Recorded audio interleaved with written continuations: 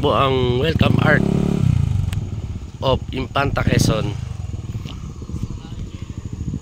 Meron lang po akong gustong ipakita sa inyo. Pagdating po dito sa lugar na to. So alam natin na marami po dito ang protected area. Magmula po dito sa KM90 restaurant. Yan pong KM90 na yan ay Little Baguio Botanical. Alam niyo po ba na itong KM90 ay isa rin po sa walang titulo na mga property. At meron po ako napansin. Ito ho ay protected area. Superintendent office yan. Proclamation yan, Presidential Proclamation 1636. Isa po ito sa tinatawag na protected area. May, meron pong nag-comment na kawawa daw yung nakakakuha ng mga lupa na under ng protected area dito ho sa sa lugar ng Encanta Quezon.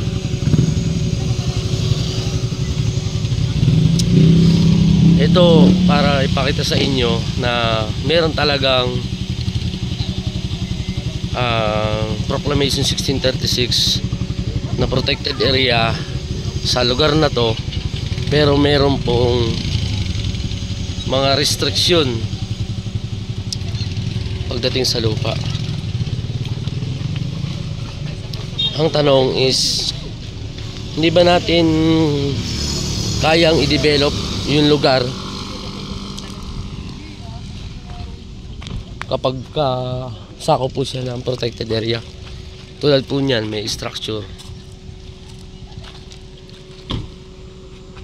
ito po ay isang pagpapatunay na kahit nandito tayo sa Proclamation 1636 kung meron po tayong MOA o yung pong tinatawag na agreement pagdating po sa protected area kaya po natin mag-develop. Kaya po nating lagyan ng structure kung susundin natin yung memorandum of agreement na ipagkakaloob sa atin ng DNR yan ho. Ito po kasi ay ang category natin ay yung national park. Napakalawak po ng lupa dito. Magmula ho dito sa lugar na to KM90 hanggang doon po sa may Three Lions. May ilang part po dyan ng mga sa Three Lions po may mga titulo na Uh, pero yung kalagitnaan po nito, karamihan po dyan, mga walang titulo. Pero bakit po nagkakaroon ng structure? Pinapayagan.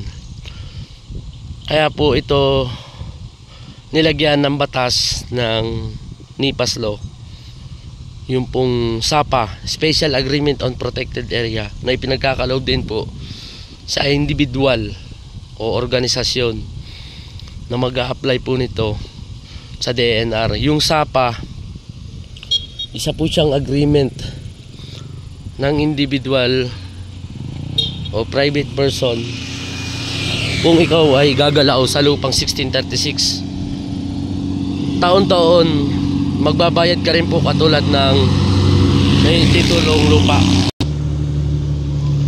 yung pong SAPA ay meron po kayong babayaran taon-taon sa DNR base rin po sa zonal value ng lupa.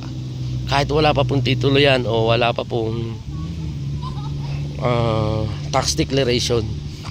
Kasi ang napakalawak po na protected area ang na meron ang Impanta Quezon kagaya po ng KM90 at kapag po kayo nag-apply para sa SAPA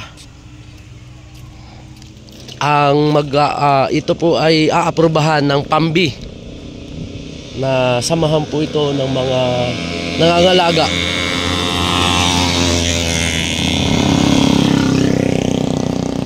Samahan po ng mga tao na nangangalaga sa lupang protected area. Yan nga po yung DNR, mayor lahat po ng mga ultimo hanggang sa kapitan sila po yung mga board of directors board member ng PAMBI.